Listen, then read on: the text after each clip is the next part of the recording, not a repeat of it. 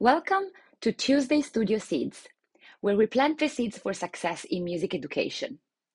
I'm Tiziana, and in today's final episode of this series, we're diving into a transformative topic connecting with your ideal client, your perfect student.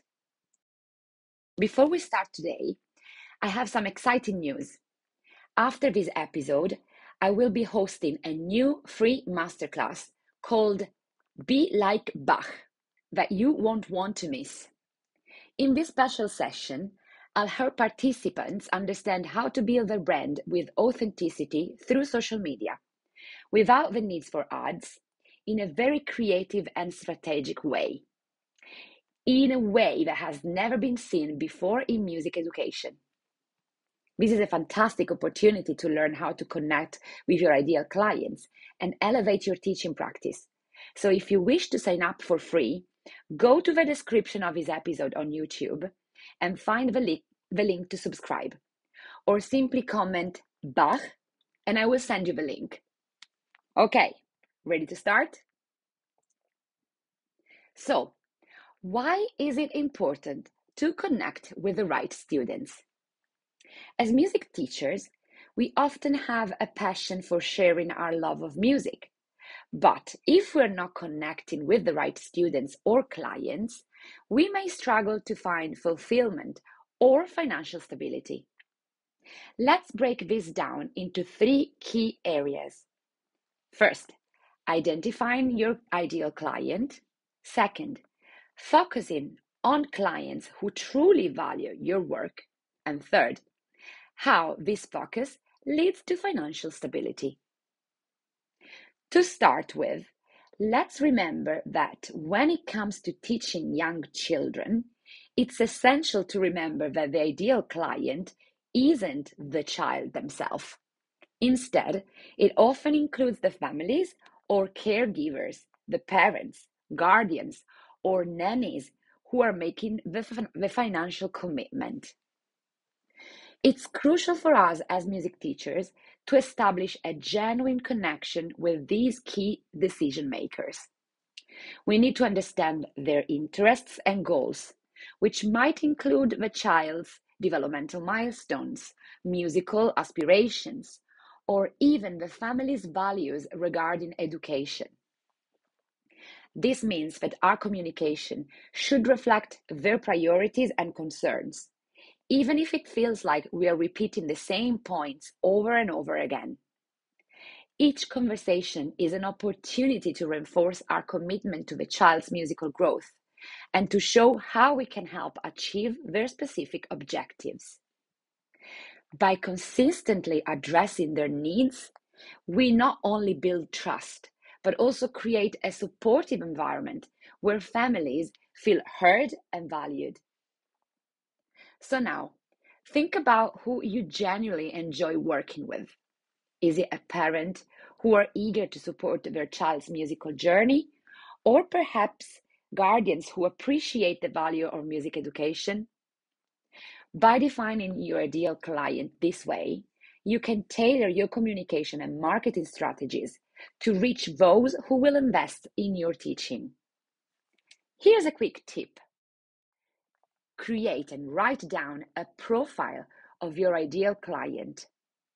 List their age, interest, musical goals for their children in case they, they are the students, their preferred learning styles, and their values. This exercise will help clarify who you're aiming to reach in your marketing and lesson planning. Next, let's discuss the importance of focusing on clients who value your work. Not every student or the family will see the value in your teaching style, your expertise, or the unique approach you want to bring to music education. And that's okay. It's essential to seek out those who resonate with your philosophy and methods. When you connect with families who genuinely appreciate what you offer, the experience becomes rewarding for both parties. You'll find that these clients are more motivated, engaged, and likely to stay with you for long term. This not only enhances your teaching experience. I remember when I first started teaching, I was eager to accept every student that came my way. And that was actually a great way to expand my experience and understand my audience better. However, I soon realized that working with families who were not committed or didn't appreciate my teaching style was draining and definitely not what I wanted to do with my life. When I focused on finding families who valued my approach, my teaching became more enjoyable, my students thrived, my community grew. So, if you are just starting out, it can be beneficial to accept a wide range of students because it helps you learn what works for you and what doesn't. This phase is all about exploration and growth. But if you're more experienced now, it's time to decide who you want to work with and set your boundaries. This includes how you organize your courses for other organizations like nursery or schools as well. Only when you're able to convey your message effectively and showcase the best of yourself will your audience truly see the value of your work. This clarity not only attracts the right clients, but also encourages them to speak about your teaching with others, creating a ripple effect of referrals and connections. Now, Let's tie these all together by discussing how defining your ideal client leads to financial stability.